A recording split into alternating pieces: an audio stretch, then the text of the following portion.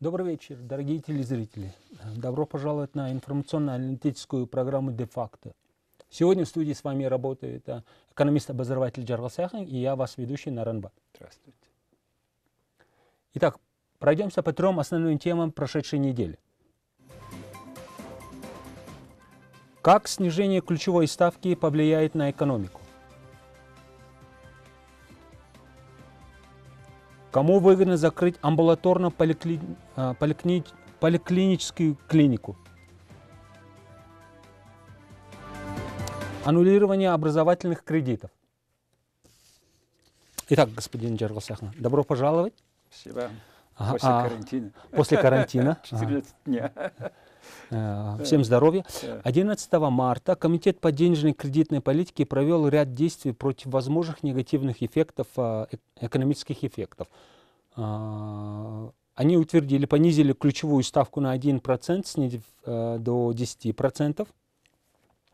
А, Понизили обязательный тугровый резерв банка на 2%, снизив до 8,5% утвердили диапазон изменения ключевой ставки в пределах плюс-минус 1%.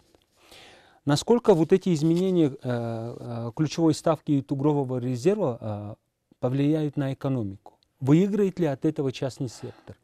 Трудный вопрос. Из-за коронавируса, карантина соответствующего, экономические трудности уже мы испытываем, особенно в отрасли, например, сервисы, э, торговли, транспорта, туризма и так далее уже мы чувствуем.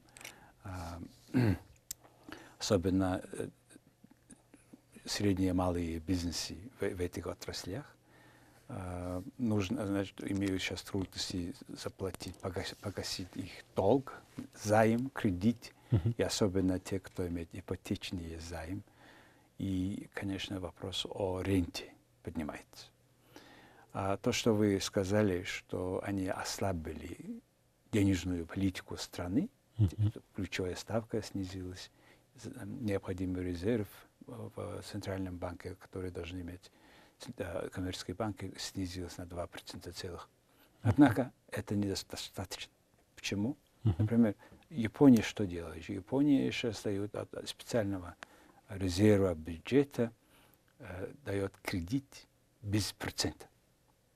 В Италии уже остановили э, значит, заплату, а, оплату за моргач, за ипотечный займ. Да?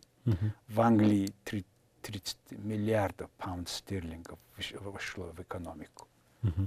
И они, значит, снизили ипотечные кредитные ставки.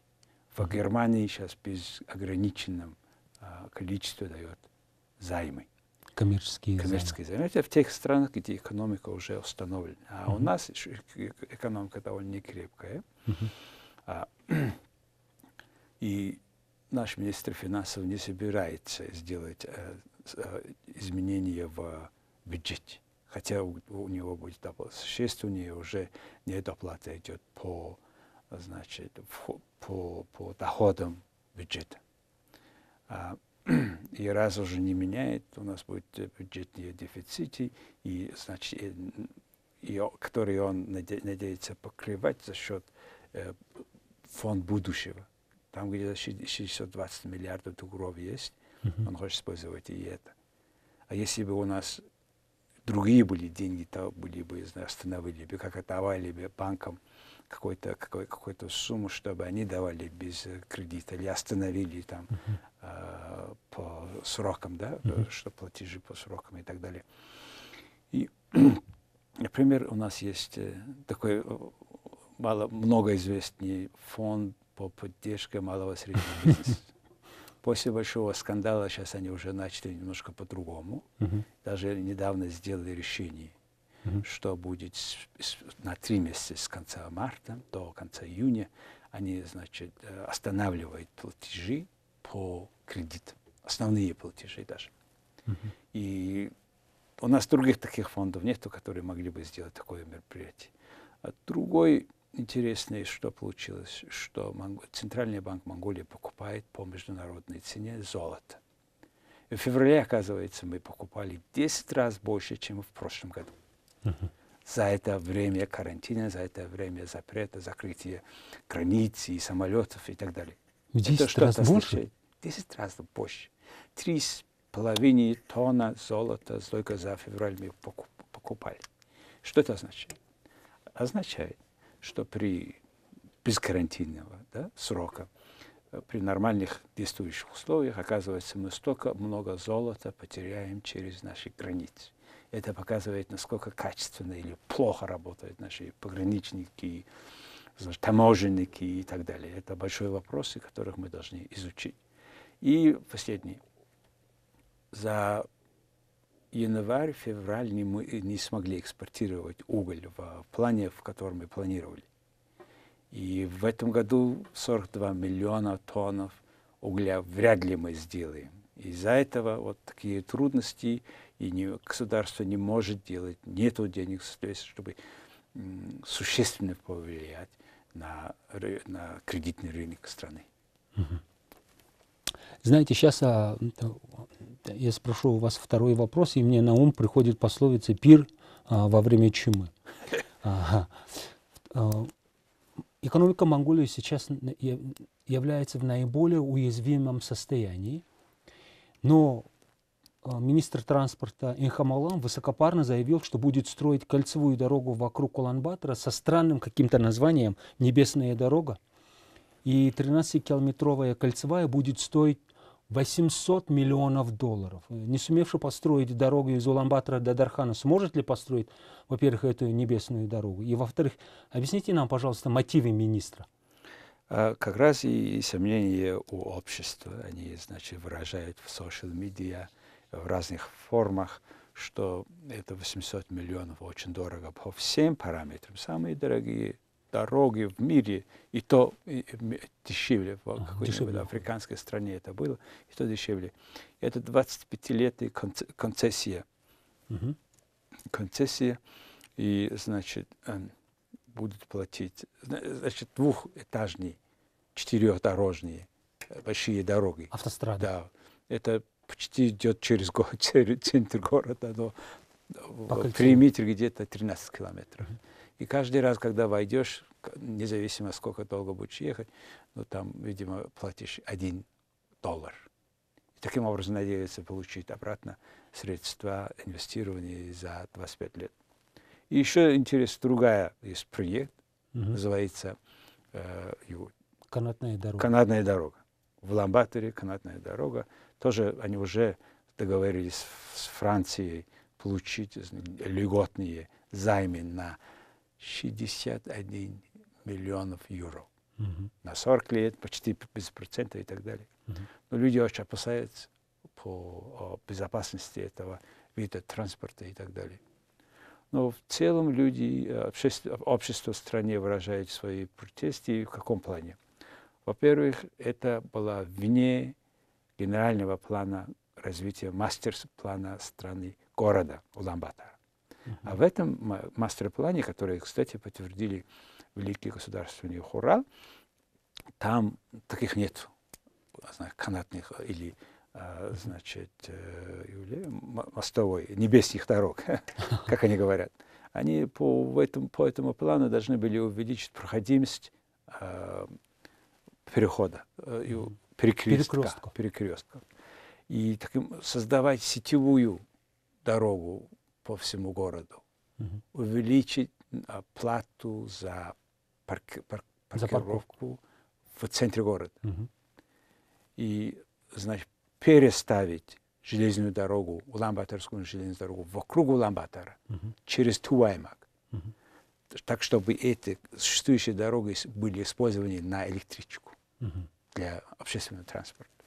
Все это были не сделаны, и к тому же очень дорого, и к тому же, как вы только что упомянули, люди потеряли надежду и траст, да, надежду в этом доверие, доверие в этому министерству, потому что с прошлого года они сняли старую дорогу через Тархана до Улан-Батора, 200-300 километров где-то. Uh-huh. Убрали ста, старую, не поставили новую целый год. Сейчас люди сам замучились, да, каждый да. день какая-нибудь катастрофа и так далее. И все это автодорожные инциденты видеха. А, so, а, поэтому, не умея на земле поставить дорогу, не могут же они поставить на небесах. Вот такой идет парадокс. парадокс да. Угу. А, некоторые страны мы видим, что делают а, поправку в госбюджете а, с, а, с, с поправкой на коронавирус. А, но наш министр финансов уже в четвертый раз заявил, что никаких а, поправок в госбюджете не будет. Объясните нам, пожалуйста, какая экономическая логика стоит за этим заявлением? А, как некоторые уже говорят, что в этом году у нас выбор 24 июня, и к этому времени, наверное, это коронавирус, все это шумиха, все эта волна, наверное, немножко станет ниже.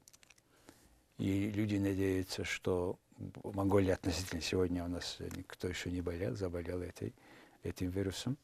А, министр финансов особенно надеется, что э, не изменяя бюджет, хотя доходы поступления в бюджет довольно сокращаются, он надеется на этот фонд, как на, на фонд будущего.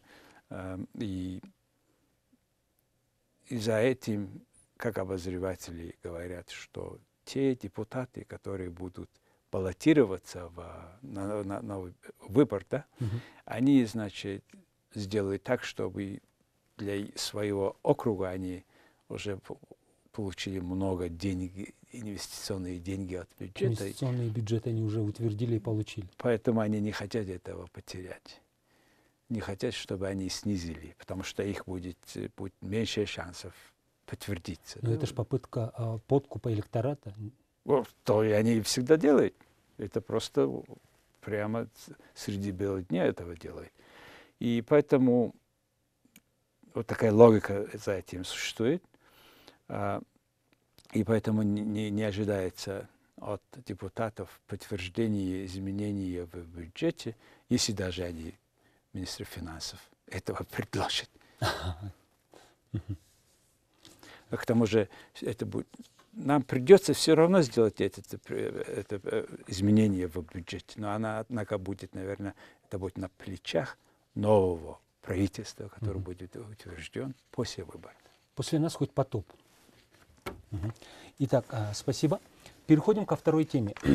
А, в октябре 2019 года открылась а, первая в Монголии амбулаторная клиника при медицинском университете построена при полной поддержке правительства Японии. Но, к сожалению, 20 марта клиника закрывается, так как отсутствует финансирование. Прежде чем мы э, вот, детально пройдемся по этой проблеме, давайте пройдемся по ключевым, ключевой статистике здравоохранения. В чем, и второй вопрос, в чем заключается а, важность этой амбулатории? Монголия – это развивающаяся страна. Угу. И мы где-то 3% нашего валового внутреннего продукта посвящаем здравоохранению. Угу. Значит, на одного врача 309 человек, на угу. одного медсестра, а медсестру 2069 человек. Угу. И соотношение врач, врачей и медсестры это один к один к двадцатым. Да? Угу. Это, это очень неплохой, неплохие цифры угу. среди развивающихся стран. Даже одни из ведущих цифр. Но, однако, вопрос не в количестве, а в качестве. Монголии не все болезни мы можем лечить. И нам нужны больше и больше другие новые поликлиники, современное оборудование и так далее. И к тому же э, из-за того, что несколько, около 30, что ли, болезней вообще не лечат в Монголии, много людей уезжают за рубежом. Но ну, не только за эти болезни, но тоже большие, за, за большой выбор. Uh-huh. И где-то по, по как исследовал Центральный банк, где-то 50 тысяч человек значит, повторном счете, да, uh-huh. 50 тысяч человек в год уезжает за рубежом лечиться, и там около 130 миллионов долларов они затратят. То есть это импортируем, да, мы uh-huh. только их сервис. Uh-huh. Но однако с 2015 года это стал, эта тенденция стала снижаться, потому что, снижаться, потому что мы uh-huh. уже, уже имеем несколько хороших, качественных частных поликлиник, которые uh-huh. могли бы, которые уже, уже поменяли, заменили, поменял. Которые построены по последнему слову техники, там есть хороший медперсонал. Поэтому они, те люди, которые уезжают, сокращаются. И, однако мы еще нужно, еще современное оборудование, это было, это, на это был ответ вот эта японская поликлиника, которая, амбулатор, амбулатория, которую они построили на 80 миллионов японские деньги. Помощь. Помощь. Последняя помощь. Последняя помощь, да, потому что Монголия сейчас уже за э, уже среднее развитие страна. Да. Но это эта поликлиника, значит, 104 койк мест. И уже люди из этого региона, района Уламбатора уже туда ходят. Они, значит, построили за три года, современные, хорошие, прекрасные. Я несколько раз был здесь, в, в этой поликлинике. И, однако, как они сообщают, как их руководство сообщает, сейчас они закрываются. А в чем дело? А оказывается, это первая университетская э, поликлиника. А в законе у нас, оказывается, раньше, э, значит, как э, образовательный институт, -hmm. как университет, медицинский -huh. университет, они принадлежат Министерству образования. А как поликлиника принадлежит Министерству здравоохранения. Uh -huh. У них было два руководства, и в конце концов это новый министр, не знаю, взяла, взяла на себя, сейчас это принадлежит. Но однако, э, значит, операционный расход этого, этой клиники в год где-то 17 миллиардов тугров. Но они не могут давать столько денег, потому что это полноценная большой кли, клиника, расходы.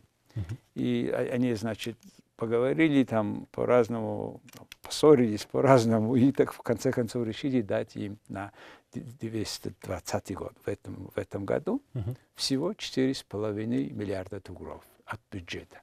Uh-huh.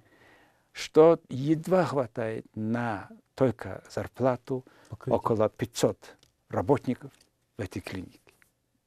И уже не говоря о том, что нужно они купить химикаты там, для анализа, все, что необходимое, не могут, ни, одно, ни одного тугра нету. Из-за этого они, а, значит, обещают закрыть, собирается закрыть клинику 20 марта. Что будет довольно такой досадой и стыдным делом перед японцами. Да, вот поэтому не повлияет ли вот это отсутствие вот это финансирования на отношения между Японией и Монголией? Как-никак они на свои деньги японских налогоплательщиков ну. построили вот самую последнюю поликлинику в Монголии, плюс пытаются вот, Я надеюсь, увеличить об этом. стандарт и а, вот качество. Самые современные технологии. Здесь там наши значит, медицинские работники учатся. Угу. Многие из них уже были в Японии, работали на одинаковых оборудованиях, приехали угу. обратно, но сейчас у них и запчастей, таких других необходимых средств нет. Угу. Поэтому, скорее всего, они не столько... По отношению с Японией, да, это очень такой деликатное дело, конечно, они подумают, какие монголы, которые да, не, да, даже не могут mm-hmm. оперировать работу, а, нормально вести работу поликлиники, которую они построили и подарили им. Да. Mm-hmm. А, но больше, что опаса, я опасаюсь, что многие учителя, ну, да, учителя, да, профессора и, и врачи, медсестры уйдут, пока они не дают зарплату, они уйдут, и uh-huh. очень трудно будет их собрать обратно. Uh-huh. Найдут где-нибудь другую работу, и сойдут обратно. А еще раз будет переучение, переобучение новых кадров. Это будет самое большое, я думаю, и тут расходы. Есть, тут есть некоторые подозрения, что вот а, некоторые коммерческие компании или они хотят приватизировать а, амбулаторию. И я думаю, что это пока слухи, а. хотя потому что такие, такого рода случаи в Монголии Были. сплошь и рядом. И я думаю, что пока что это слухи. Однако через два года, если так случится, я не удивлюсь, потому что так и случается. Но более того, это показывает качество управления вот, э, об, об, общественными объектами государства. И ресурсы. Качество, да, и умение планировать. Все это очень плохо в этой стране стоит.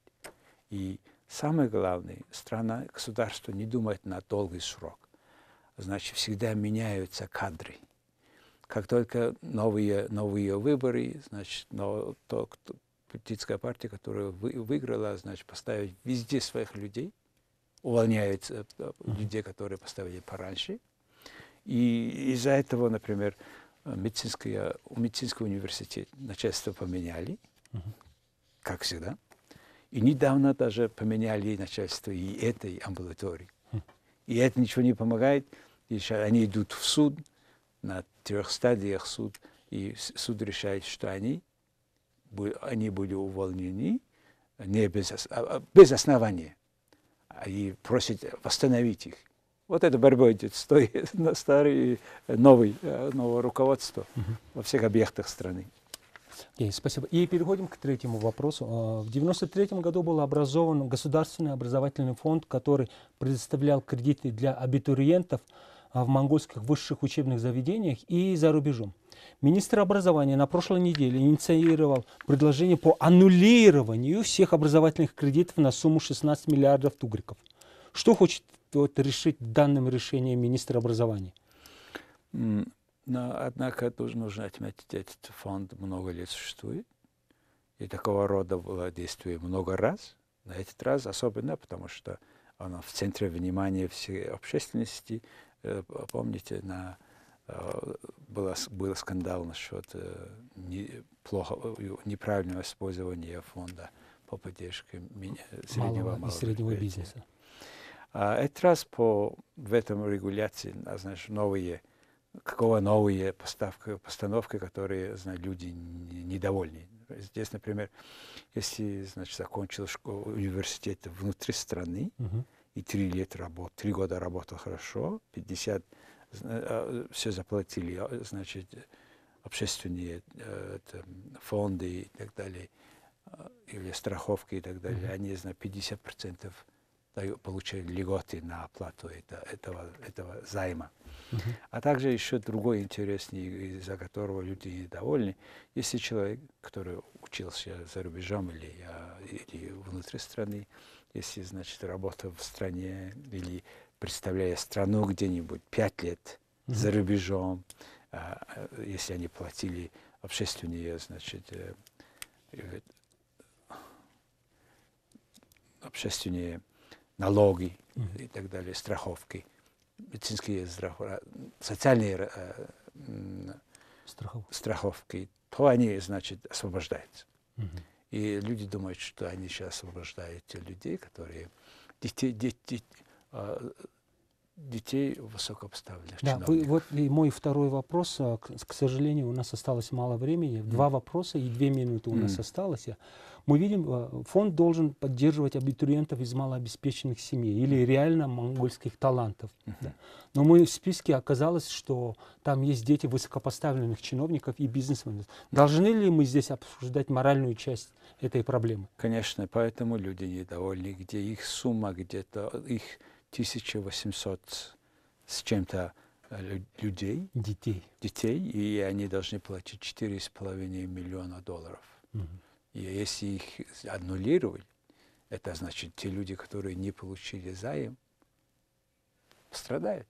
Это несправедливость. Потому что это аннулирование займа – это политический лексикон. Такого да. не бывает. Все правильно. За, за, за займ кто-то платит. Мы, в этом случае налогоплательщики, мы платим. Поэтому народ этого не полностью понимает, угу. что он платит. Угу. И мой третий, последний вопрос, у нас все осталось одна минута. Многие абитуриенты, взявшие кредит, а, образовательный кредит, не возвратились в Монголию. Да, 179 человек да. сейчас а, не знают, где они, не платят. Но их было, их было чисто 400 два года назад. Из-за mm-hmm. того, что объявили таким образом, они уже заплатили больше 200 человек. Поэтому такой подход, я думаю, что правильно. И вопрос, если ты получил денег, почему не платишь? Mm-hmm. Особенно если дети, дети высокопоставленных чиновников. Это же воровство. Да. И поэтому, поэтому mm-hmm. это правильно, что мы сейчас мы говорим. Mm-hmm. И таким образом вообще образование не делается. Mm-hmm. Спасибо. И на этом все. Увидимся на следующей неделе. Будьте здоровы. До свидания. До свидания.